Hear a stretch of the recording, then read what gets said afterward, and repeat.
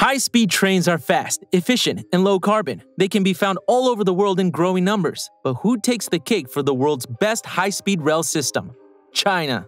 In little more than a decade, China has built almost 40,000 kilometers of high-speed rail, connecting nearly every major city in the country.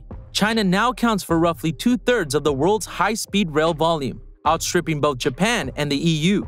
Meanwhile, in Europe, only 11,000 kilometers of high-speed rail are currently in use, according to the Worldwide Railway Organization.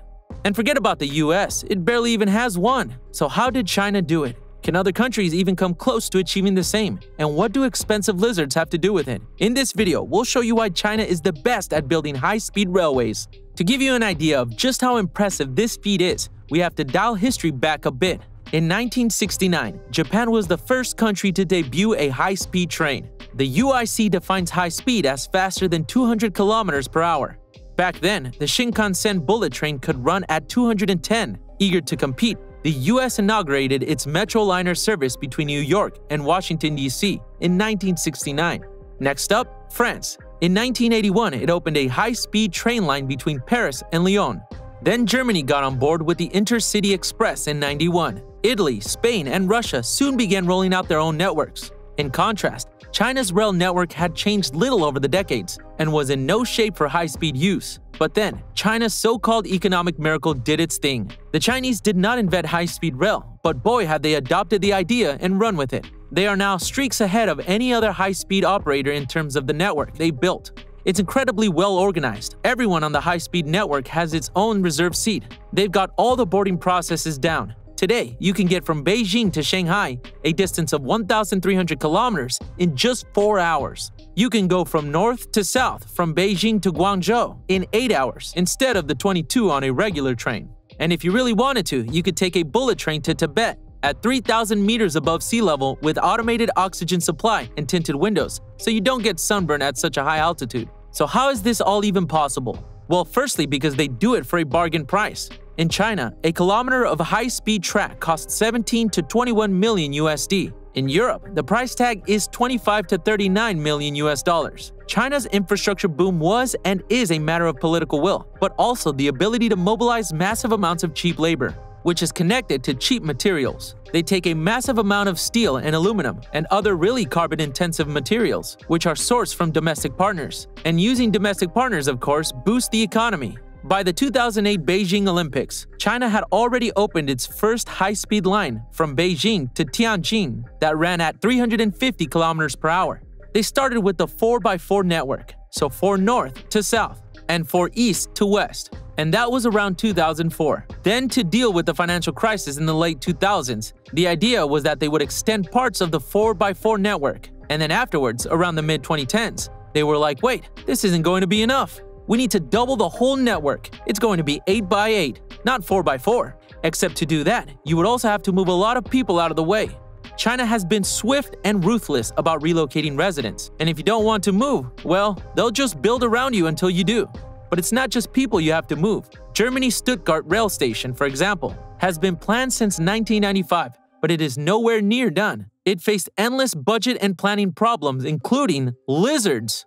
In 2017, the delayed project was further derailed when Deutsche Bahn claimed it would have to resettle endangered lizards at a cost of 15 million euros. That's a budget of 2 to 4,000 euros per lizard. Not in China. The Chinese legal code allows the authorities to basically do what is necessary for the nation over its people and animals. So China doesn't have that issue of moving people because they can exercise eminent domain and kick people out of their fields. By 2013, China had built 10,000 kilometers of high-speed rail, just about the total amount currently in use in the whole of Europe. And it doesn't have to worry about profitability. Many lines are running at huge operating losses. Why? Politics, of course. The numbers speak for themselves. It is not economically viable in the near term or even the medium term. There's going to be something else going on. Thinking of those hinterlands of China, like Xinjiang and Tibet, was more part of a Belt and Road Initiative type of program with clear geopolitical goals alongside economic ones. China's high-speed story has been so successful that trains could actually dominate commercial travel, which bodes pretty well for the country's goal to be carbon neutral by 2060. But there's another factor in its favor. Flying in China sucks. Its airports are constantly ranked the worst in the world for punctuality. You can thank the military for that. It controls roughly three quarters of China's airspace. so that means commercial flights have to wait until the Army gives the go ahead for takeoff. And guess who that's good for? The rails have basically outcompeted the airline companies. For example, between eastern China to central China. These were routes which were very big with the airlines. Before high speed came in, the railways have been able to attract so many more customers that flights have pretty much ceased between these metropolitan pairs. Building all of this is carbon intensive, but all in all, China's push for rail still greatly reduces its long-term footprint. And for the world's biggest CO2 emitter, that's a big payoff for the planet. But China's story is nowhere near the end. The country is aiming to double its high-speed network by 2035, taking it to 70,000 kilometers of tracks. And if that weren't enough, the government recently made a big splash around the rollout of its fastest maglev train. You heard that right, magnetic levitation, which goes up to 600 kilometers per hour. It's the world's fastest land vehicle. One of the major factors contributed to China's success in building a vast high-speed railway network is its skilled workforce and expertise in the field. With the combination of dedicated professionals, a strong education system, and continuous investment in research and development, China has established itself as a global leader in HSR technology and construction.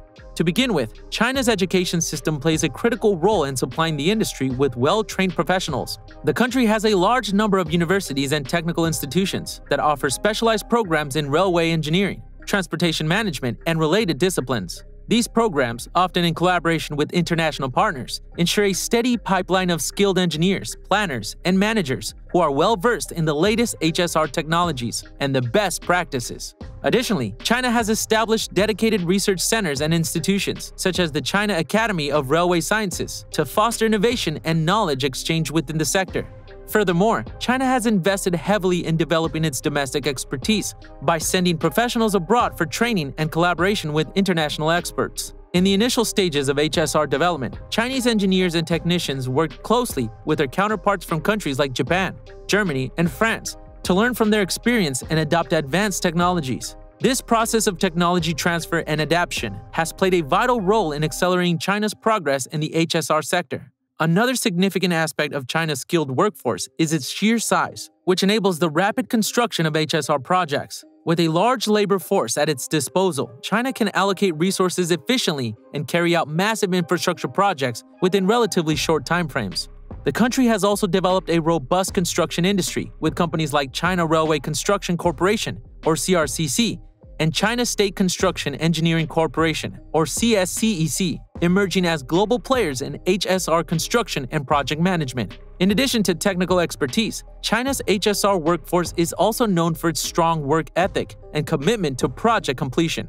Employees in the sector often work long hours and are willing to relocate to project sites, ensuring that deadlines are met and construction proceeds without delay. Through technology transfers, knowledge exchange, and joint ventures, China has harnessed the expertise of resources of other countries to accelerate its HSR development and establish itself as a global leader in the field. In the early stages of China's HSR journey, the country sought partnerships with countries possessing advanced HSR technology, such as Japan, Germany, and France.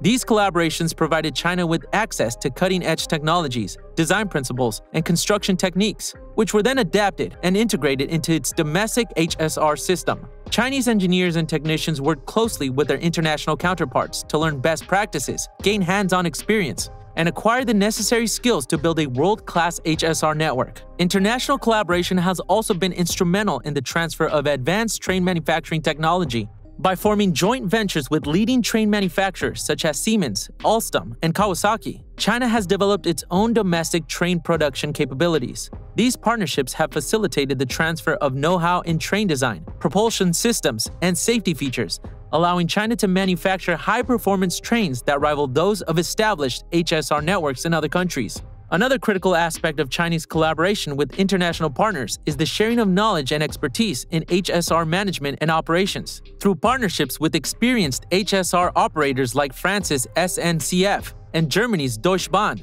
China has gained valuable insights into efficient HSR operation and maintenance, as well as customer service and safety standards. These lessons have been applied to China's HSR system, contributing to its reputation for reliability and punctuality. Beyond technology transfers and knowledge exchange, China has also embarked on joint HSR projects with other countries, both as an investor and as a supplier of technology and expertise. China's HSR companies have been involved in the planning, construction, and operation of high speed rail lines in countries such as Indonesia, Thailand, and Turkey.